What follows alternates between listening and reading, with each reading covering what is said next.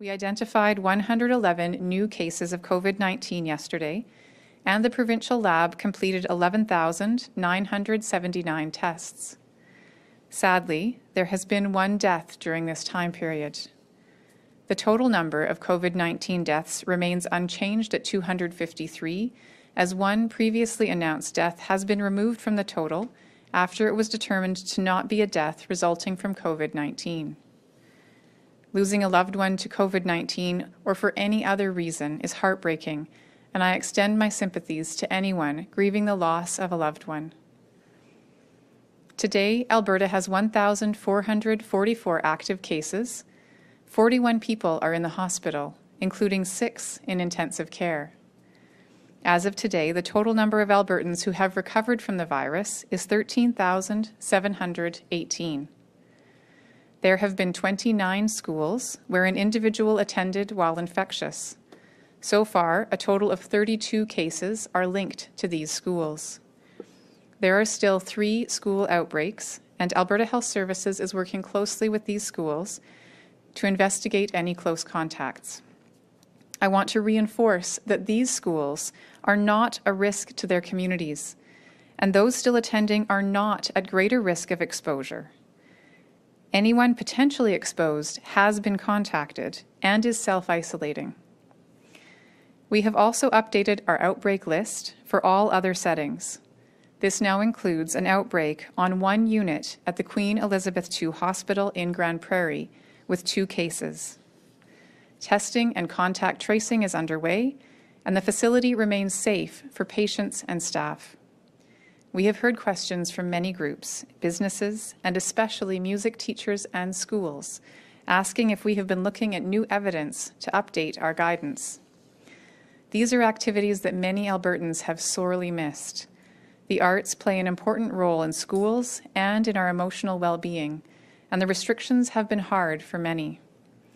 We had originally severely limited indoor singing and use of wind instruments, as there was some evidence indicating that they may pose unique risks of transmitting COVID 19.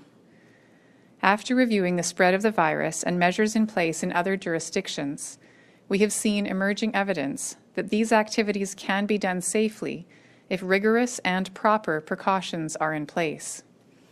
We have therefore updated our approach to allow Albertans to enjoy these experiences safely while keeping measures in place to limit transmission. Updated guidelines are now posted online that allow limited band practices, singing, and wind instrument concerts to occur, provided distancing, enhanced cleaning, and other precautions are implemented. Choirs may begin again with maximum size limits and masking while singing. However, audience singing is still not allowed, and congregational singing in faith settings is still discouraged. This is because it is easier to ensure that all guidance is rigorously and regularly applied with smaller groups, while singing in a larger group without these same ongoing rigorous measures could lead to large transmission events. I want to stress that gathering limits have not changed and dance floors are still not allowed, as we cannot safely mitigate the risk of exposure with these activities. As we continue to learn more about transmission, we will update guidelines based on what the evidence tells us and how we see the virus spreading in Alberta.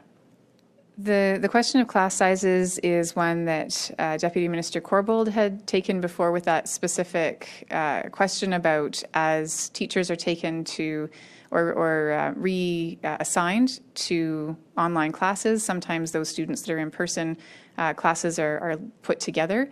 Uh, one of the important things, of course, in any context, uh, whether school or anywhere else, is that uh, as much distancing as possible is maintained between students.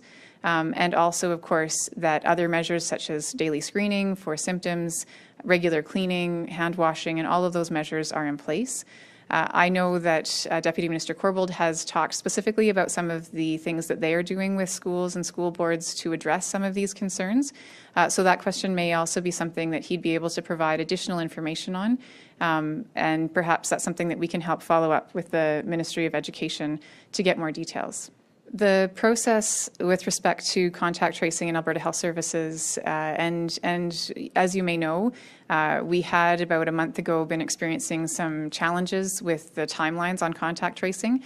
So when a positive test result became available, it was uh, in some circumstances, unfortunately, taking several days to complete that contact tracing and, and notify those individuals. That gap has been closed, and I've been told by Alberta Health Services that contact tracing now is able to be completed the day that that test result is available. And of course, then the follow up with that close contacts uh, does happen as a high priority. So if there has been a particular individual case where it's been reported that there was a delay, that would be outside of their normal practice. Uh, and Alberta Health Services might be able to comment more on that. But the typical practice would be, again, that contact tracing uh, would happen within 24 hours of that lab result being available, and anyone deemed to be a close contact would be notified as soon as possible uh, within, again, if not that 24 hour time period, then as soon as possible after that.